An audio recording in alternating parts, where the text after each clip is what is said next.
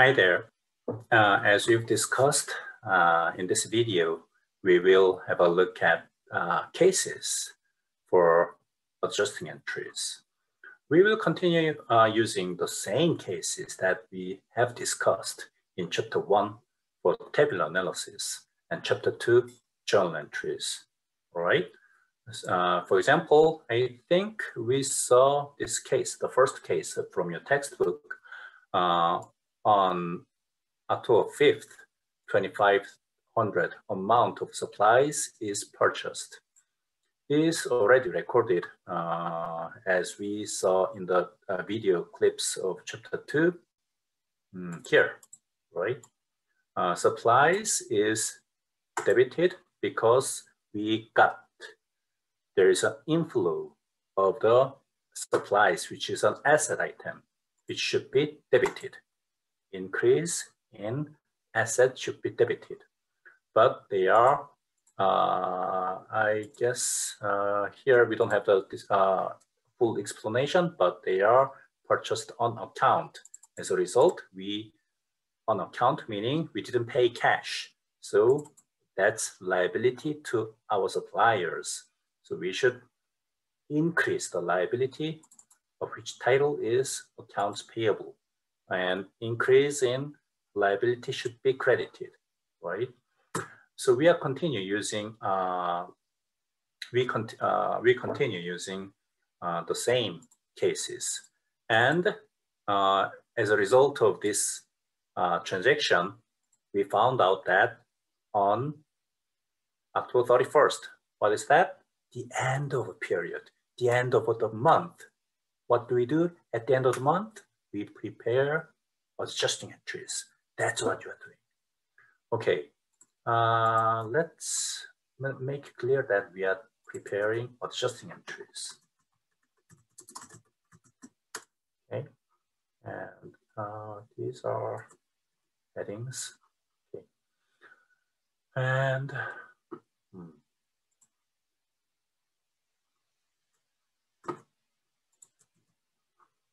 And let's uh, write reference number A1 date uh, 10 5th. Uh, oh, that's what we did already here, right? What are we doing? Was it just entries are prepared at the, yes, end of the period. So the date should be the end date of October. Again, what's the today? What? What's the date of uh, uh, today? It is, yes, it's October 31st. Okay, what happened? You opened your closet, right? You initially purchased 2,500 amount of supplies. You opened your closet and checked out the inventory of your pencils, pen, you know, tapes, stapler, and the like, and paper, right? Books of Xerox copy papers. And then you found out that oh, we purchased $2,500 amount of supplies and only 10,000, not 10,000, 1,000 of supplies are left. What's happening? Some thief? no, you, it's you. You used up, right? How come? Why did you use it? You used it because you wanted to use your supplies to make? To make what? To make, yes, money, right? What you did is over the past 20, 20, how many days? 26 days, over the past month, you used your supplies to make money. In a sophisticated term, what did you make? You increased your revenue. By how? Because you provide the service, right? What are you talking about? The revenue recognition principle. Over the month, you have provided the service. You satisfy the obligation, right? As a result, you are entitled to recognize the related expense. That's the key you are entitled to recognize related expense. What kind of expense? I guess Of course, supplies expense, right? That's what I talk, what I am talking about.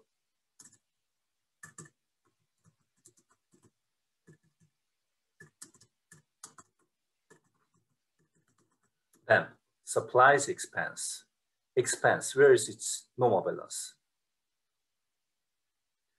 Expenses are, uh, you remember asset equals liability plus equity. Expense is one of the equity items, but it is with a negative sign in the middle of the equation itself. Therefore, you regard it as being located at the other side of its location. Therefore, its normal balance is, yes, debit side. So we need to debit it. Good job. So how much supplies did you use? How much is gone, right? How much is vanished? You can see that out of 2,500 initial amount, only 1,000 is left, meaning you have used up 1,500, right? How did you get that 15? 2,500 minus 1,000. Right? Then, what should be on the credit side? Can you make a guess? What is gone? what is vanished? It is the supplies, right? Supplies is an asset. Is shrink has been shrunken, right? You are seeing the reduction of the supplies. Supplies as an asset is reducing and should be debited or credited. Yes, it should be credited by the same amount. Okay. All right. Um, I think it's a good time uh, to talk about some uh, the T account that we've studied in the last class. What's the T account? Uh, it's a educational form of so-called general ledger. And within the T account, hmm, not T account, can I uh, make a, okay, yeah, I can do something like this. Now you draw a big T. Hmm. I I hope you I want you to do what I have done uh, and what I'm doing in this Excel spreadsheet because as I told you, Excel is very important. Uh, it is highly likely that uh, if you see, uh, search for any job posting uh, for business related uh, positions, then you will see that Excel is one of the essential skills, required skills for the position. So please, uh, and Excel is best learned by practicing. Okay, so please practice with me the Excel. But uh, so I want you to open the file that we've been using in chapter two and follow what I am doing with me as a practice. But uh, what I'm doing from now on about drawing the T account, you don't have to. Yeah, so, uh, okay, this is for just explanations purpose. So you don't have to follow what I'm doing here, drawing the T account. Okay, T account. How do you draw it? Something like this. Supplies. Okay. Uh, on the uh, line, you uh, write down the title. Okay, and then uh, we saw that uh, supplies was initially recognized here, right? And fifth, oh, is two? 10, fifth. Uh, why is it automatically changing to two? I have a little idea. Ah, it has calculated. 10 over 5. Oh my, I can't believe it. Okay, I'm changing the format to date. Should date. It should be good. It should work. Date. Okay. 10, 5. Uh, supplies, uh, what did we see? it is increasing by 2,500, right? And we also, uh, and what we saw in this example was that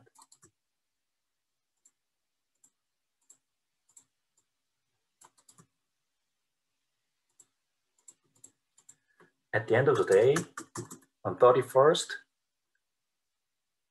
what was, the, what was the setting? On August 31st, right? August 31st, how much is left? 1,000 is left, right? Then what does that mean? Your supplies is an asset, initial balance was 2,500, and your ending balance is 1,000. What does that mean? Again, 1500 is used up. Used up meaning it should be credited, right? That's another reason why why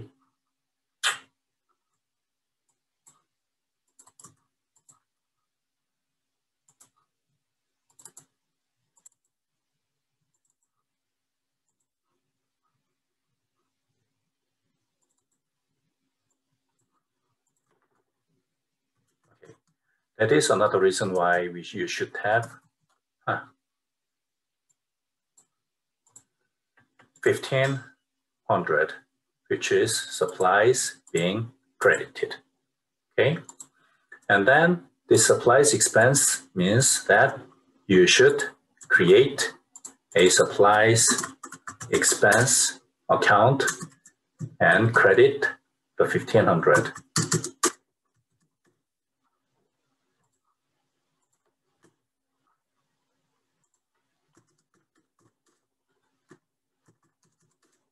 Okay. Okay. Right. Um,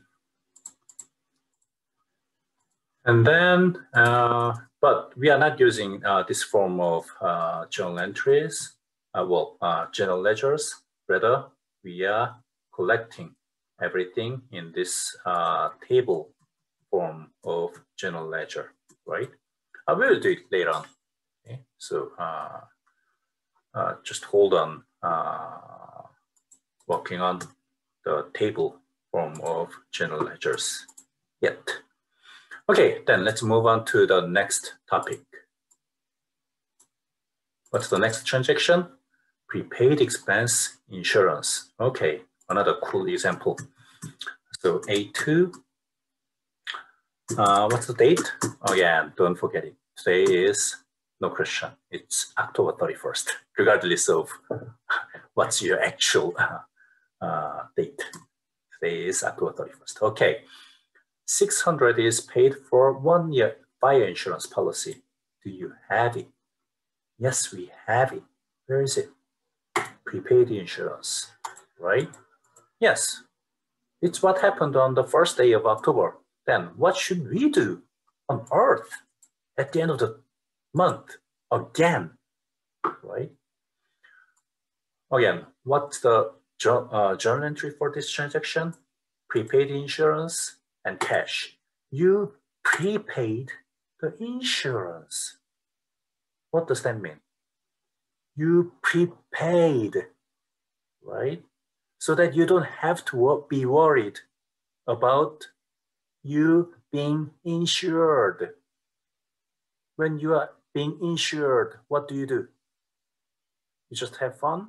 No, you want to be insured because you want to be comfortable in making money, in generating revenue, in providing the service so that you are entitled to recognize revenue and at the same time recognize what? The matching principle, expense, yes it's time to recognize related expense. Then what kind of expense? I cannot hear you. what is that?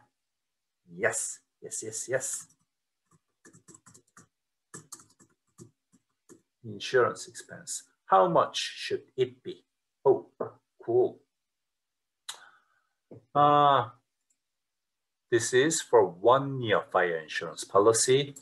You've paid 600 and how many months are we talking about?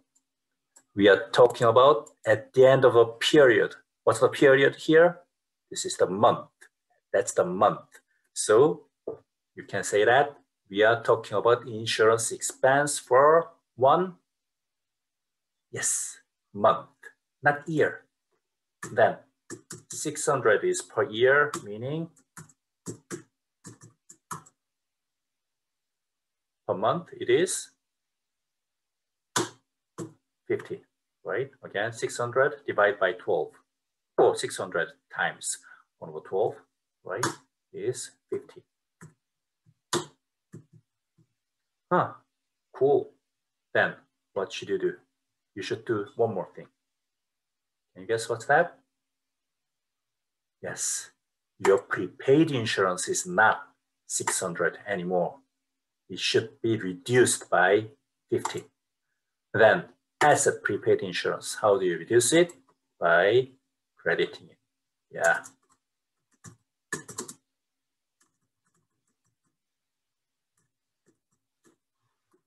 The same as before, right? Your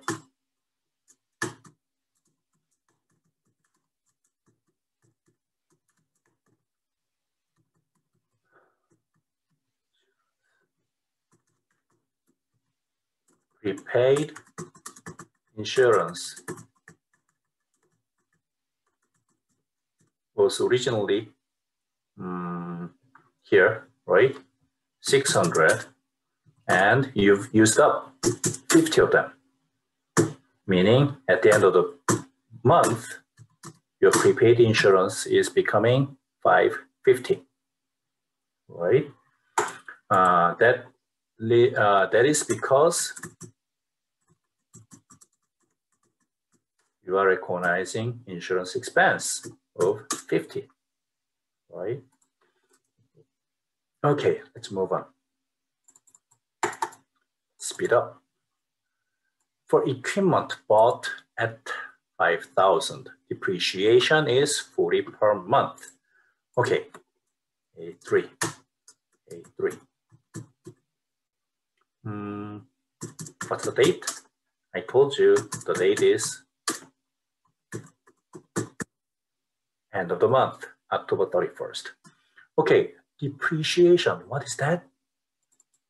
What is depreciation on earth? Depreciation means, uh, for example, uh, I have a laptop, okay? Uh, a laptop that I purchased three years ago, paying $1,000. All right. Again, I purchased a PC uh, one, uh, three years ago, $1,000. Then what's the value of this PC now? Three years later. Right? Oh, I have a better example. You all have a phone, right? Smartphone, right? Uh, is it um, Apple? Is it um, Samsung? Cool, right? Then uh, how old is your uh, phone? Just one day? wow, cool. But some would say that, oh, I bought it two years ago. Wow. Then, two years ago, how much did you pay? Uh, for my cool uh, Apple iPhone 10, I gave them like $1,100. Cool. Then how much is the market price uh, of that iPhone 10s? Today, come on, it is not one eleven hundred dollars anymore, right? Its market price is now like four hundred dollars. Sorry, man, but that's what it is, right? Again, initially two years ago you paid eleven hundred dollars. Now its value is four hundred dollars. What happened? The asset, the equipment has been depreciated by how much? 1100 minus 400, which is 700. That's the concept of depreciation. The value of your equipment is reducing. Huh, did you pay cash to reduce the value? That's silly, right? You did nothing. There's no cash transaction in it. But you need to somehow recognize the reduction in the value. That's the underlying value change in your equipment, even though you did nothing. Right? So that's the reason why you need, you need to recognize, you need to record, uh, record something. Why? Because you've used it. You've used it for what? To make money. You've used it to perform your service to satisfy your obligation. As a result, you are entitled to recognize revenue and you therefore need to recognize expense. What's the expense? Tell me again. Yes, depreciation. Expense. How much? 40 per month. Then, as usual, when you have debit, you should have credit. What do you think it is? Equipment, right? By that amount, your value of equipment has been reduced. Oh, I, I like your answer. But unfortunately, yeah, the world is not that simple. Oftentimes, unfortunately, it happens, I know, right? It's not equipment, but the accounting standard states that you should indirectly reduce the value of equipment. If you credit equipment, it means you directly reduce the value of equipment. But rather, accounting standard states that when it comes to these tangible assets that you keep for a long time, the accounting standards state that you should keep its historical acquisition cost meaning don't touch the equipment value. Instead, you create a contra equipment account. What's that? Contra equipment account. That reduces, which reduces the value of equipment. Okay. And that contra equipment account is called accumulate depreciation. Okay, then uh, let's talk more about the equipment account. Where do you see equipment account in the balance sheet?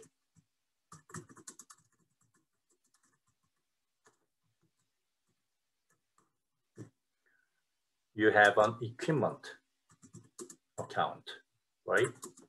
How much is it? Equipment, we saw that uh, originally we purchased it at uh,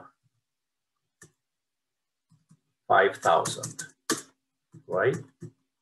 But we saw that there is a contra equipment account, right? Which reduces the value of equipment. How much is it? We saw it that the accumulated depreciation is 40. Okay. As a result, the equipment net of the depreciation is becoming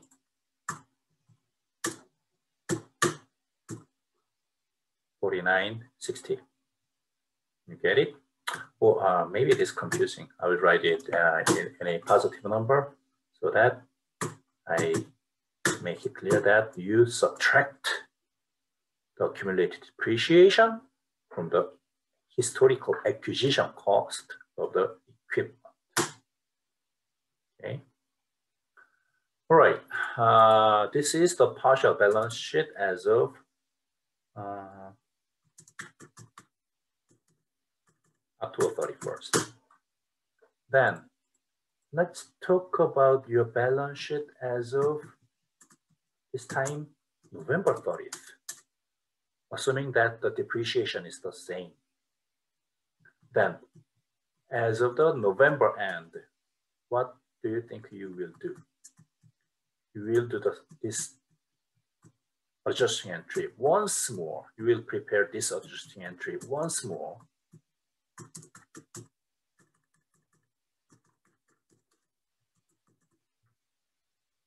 right? And then how much has been accumulated? How much has been accumulated as this result? Accumulated depreciation is not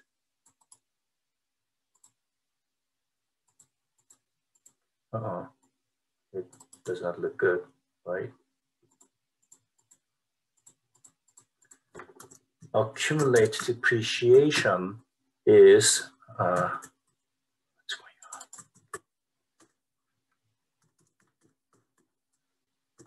Not just 50, right?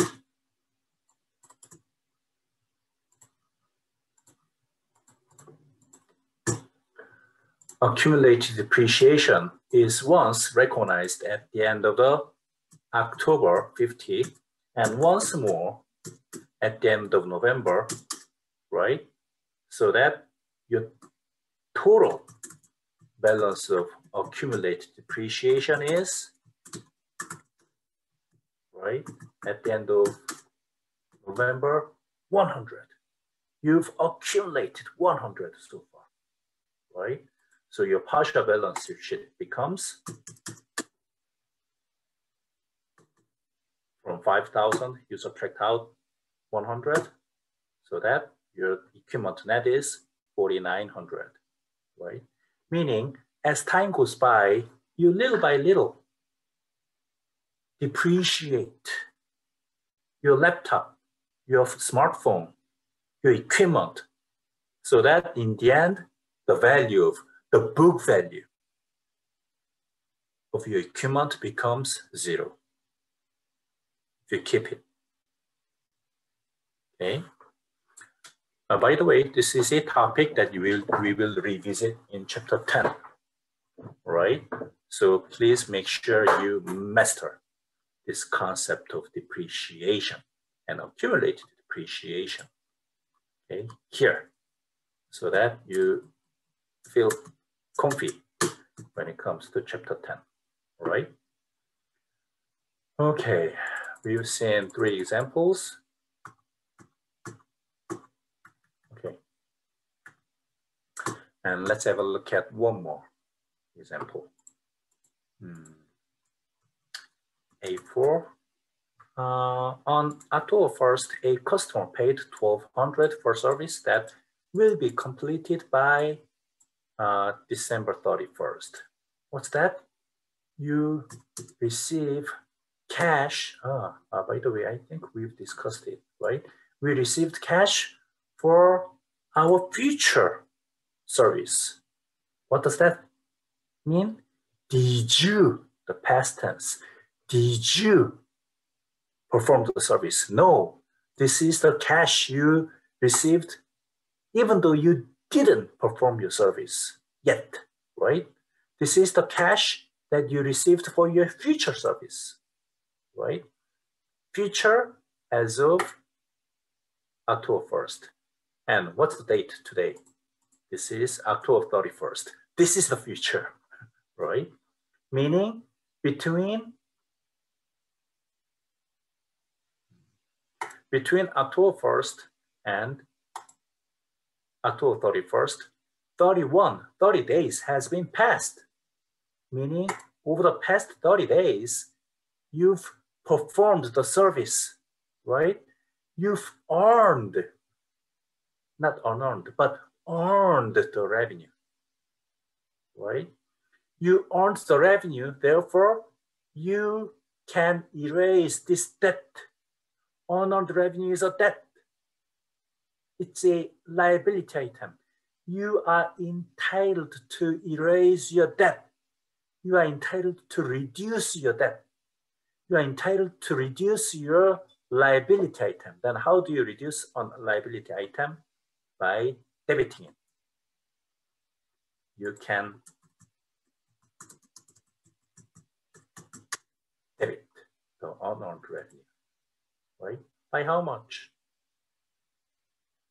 How much amount of service did you provide? One month, right? Between October 1st and October 31st. you performed one month amount of service when the amount that you received is for how many months? October 1st and December 31st? 10, 11, 12, three months. Out of three months, right? You performed one third of it, right? Meaning out of 1200, you performed one third of it, okay? 1200 divided by three, how much? 400, okay?